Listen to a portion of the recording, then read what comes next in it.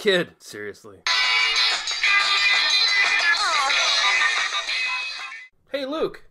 Hey, what? Did you know they're making yet another movie where a white guy feels really endangered by his time in the Middle East? I hope it's depressing. Uh, oh, it's going to be depressing. It's Beirut. It also has the obligatory dead wife, which is necessary for any action movie. Women, of course, are made to die for these movies. Women in fridges. How would a man have motivation without a dead girlfriend? I have no idea. Hey, don't forget the obligatory anti Jewish reference and the American conspiracy theory parts. Those are in there too. Oh, if only a bulky white guy could save us all. Oh, good thing Jon Hamm's in this movie, am I right? Oh, his jaw's so chiseled. Hey, but I do have some good news.